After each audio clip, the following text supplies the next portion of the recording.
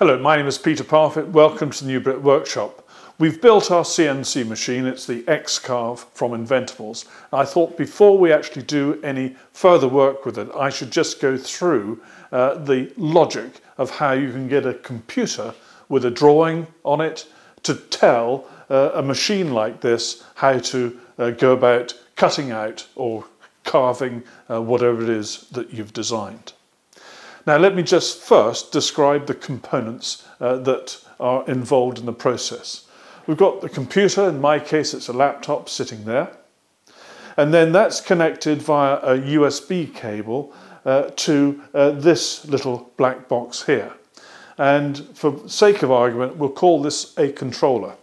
And basically it's an Arduino computer and what Inventables call a G-Shield. It's two uh, uh, circuit boards uh, which are joined together. This is a power supply and this powers the whole of the CNC machine itself. It powers the motors and so on and it also provides the power for the controller box here. Now, regardless uh, what uh, software you might be running, regardless of what computer you've got, uh, at some point you need to install on the computer the drivers uh, that allow the computer to talk to, in this case, the thing I'm calling the controller.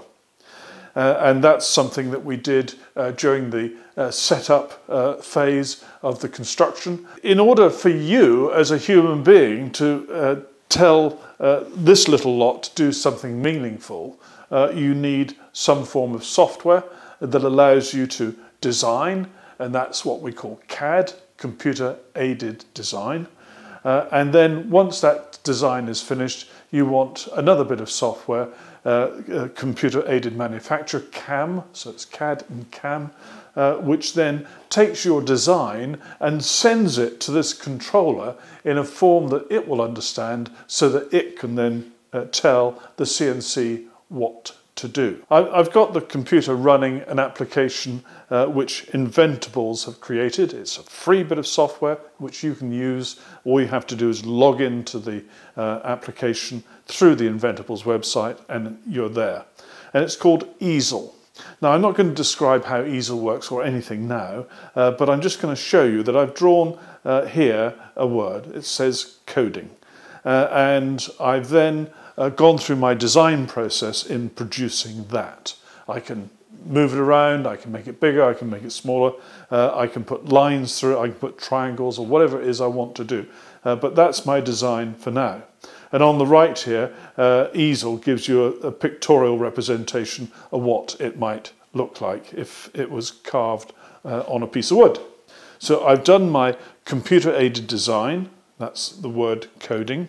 And now I want to let this application take over the computer aided manufacture for me so I don't have to think about it. I do have to tell the machine about the particular cutter that I'm using. Uh, I have to tell the machine uh, when I've put the cutter in the home position. Uh, and I also need to tell the machine uh, what sort of rate of cutting that I'm happy uh, for this cutter uh, to be doing in the material that I've got selected. And that's all done within the easel application. So there's my design and now it's got to come out of this computer and go through this controller into the CNC. And it comes out of this computer in a form uh, called G-code. You don't need to understand what G-code is, but I'm just telling you the name because you'll hear me mention it again. So G-code comes out through the USB connection to the controller. The controller then interprets that G-code. The G-code might say draw a circle or draw a line from point A to point B or whatever it might be, or raise or lower the bit. Uh, the controller receives that, that uh, those instructions and then uh, does some clever stuff in order to break those instructions down into the controls needed for all the motors on the machine. Now on the machine we've got an X motor, it's out of view but it's at the back here and that makes this whole uh, tool and assembly here move from left to right, which is the X direction. That's X going positive and that's X going negative. Uh, there's a pair of motors, one here and one here, which make this whole rig move forward and backwards, and that's the Y direction, and it's positive going that way.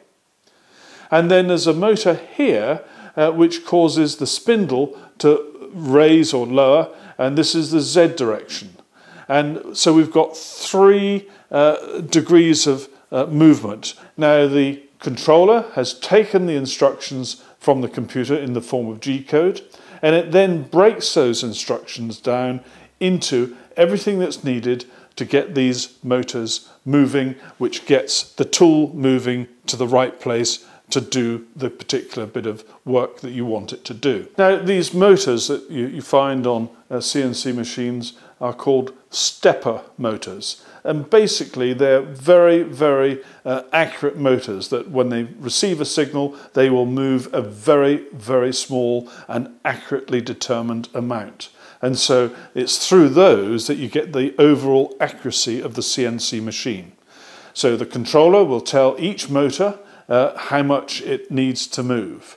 In the case of the two motors which are here, which control the Y movement, then uh, one receives a positive signal, the other receives a negative signal, so they're both moving in the same direction uh, in uh, unison uh, with each other. And it's possible for the spindle to be uh, controlled. Its uh, switching on and switching off can be controlled again through the controller, and that's something that you would select or determine in your setup of the software that you're using. Uh, I like to have manual spindle control at the moment because I'm still learning. Now when it comes to other CNC applications, and I've got VCarve Pro here, uh, they don't necessarily have the ability to output in G-code. Remember G-code? Really important because this lot over here understands G-code. Now to make sure that uh, your Vectric soft software understands G-code, uh, you need to get a little file. It's a post-processor file, uh, and you can download it from the Inventables website, and then you pop it into uh, the correct directory on your laptop or PC uh, so that the uh, VCarve Pro software can use it uh, to uh, manipulate uh, the drawing or whatever it is you've created and output it as a uh, G-code file. If you go to the, the Inventables website and under the heading of machines, there's another heading under that called software, and then under that you'll find VCarve Pro. And th that's this page there, and towards the bottom of this page, uh, you'll see a number of files where, which you can download. And there's one here which is called xcarve postp.zip and that is the post-processor file that you need in order to get uh, VCarve Pro talking to this G-code lot over here. Download that and you need to put that into a, a particular directory where VCarve Pro has all of its other uh, post-processor files. And those files end in the extension .pp. You would think I'd written them, wouldn't you? Um, anyway, .pp, find where uh, they are stored on your PC according to your uh, installation and then pop that um, uh, G-code post-processor file into that directory. Now the story doesn't end there. We also need another piece of software which can take the G-code file uh, that uh, VCarve Pros created, which now sits on this machine, so it's a file of G-code sitting here, but somehow it's got to be sent uh, to the Xcarve and its controller. And so you need a piece of software which will send it uh, in the correct manner uh, so that little lot over there can understand what's going on. And this program is called the Universal G-Code Sender. And if you put that into Google, uh, you can find a website from which you can download it, and it's absolutely free. Uh, the uh, website is called GitHub, uh, and you'll find on there uh, a, a, place where you can download it. Uh, now, in order for these to work, you do need to have the latest version of Java installed on your PC or laptop. Now, when you open up the Universal G-code sender, the very first thing to do is to tell it to open the COM port. that's the COM port that you set up. You remember the the little uh, bit of software from the Arduino website that's uh, sitting in here, the drivers for this, uh, that selects the COM port, and mine is COM3, so that's now open. And you see a sort of bit of red here uh, saying that it's not ready yet. And the reason is you've got to send a homing command uh, to uh, the XCarve. And you do that by typing $H. And the machine is going into a homing cycle now. So it's gone all the way up to the top and it's now going to come all the way over here. And it's found those limit switches and that's my homing position uh, for this machine. But for this particular job, uh, I don't want uh, this to be the reference point. I want the reference point to be at this cross section here on my uh, piece of uh, wood. So you can go into a machine control mode here and you can start moving things around. Now be careful because mine uh, defaults to uh, one inch per click of the button. So this is X, one inch at a time, which is quite a, a big chunk, particularly if you're going in the Z direction downwards. So you need to be careful. Uh, and I'm going to, uh, in a minute, change that uh, to something slightly safer. I'm going to put it one millimeter per click. You can see that's moving over. I'll do one movement downwards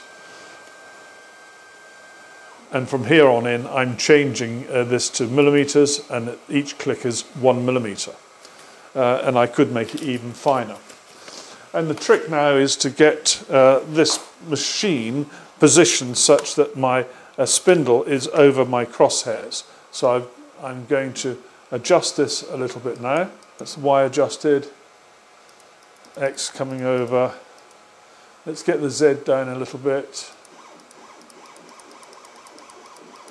looking pretty close. I'll now use my piece of paper. That's it, just one back, that's fine.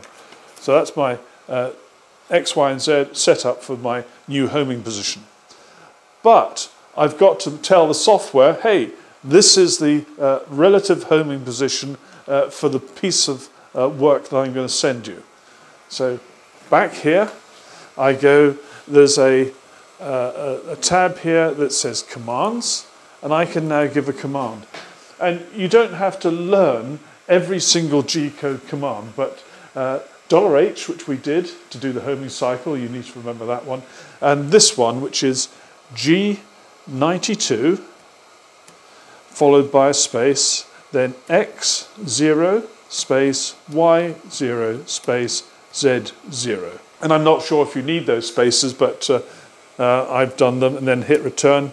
And what that has now done is it said G92 means what I now tell you is going to be the absolute position for this particular job.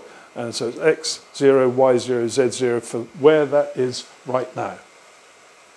Next, we want to send it a file. So we go into file mode up here and I can browse and my file is here open it.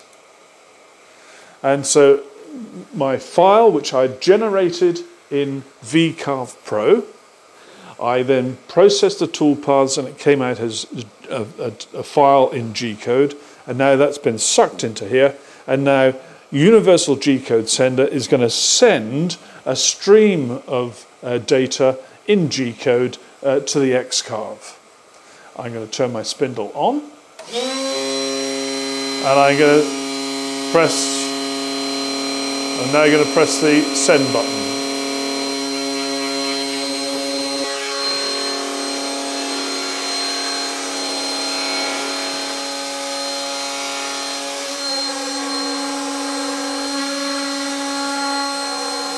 Well, that's it, and quite appropriately, that's the end of this uh, video. And I hope it's been of use to you. I hope you've now got a, a better feeling for how easy it is uh, in reality to transfer data from your computer where you've created your wonderful design all the way through to the CNC machine. Now, if you've got any questions, I'll do my best to answer them, but bear in mind, I am still very much a novice at this. Uh, why not try the Inventables forum? Have a look around, you might find answers directly, or you can pose questions to other members of the forum. Thank you very much for watching. Take care. Bye-bye.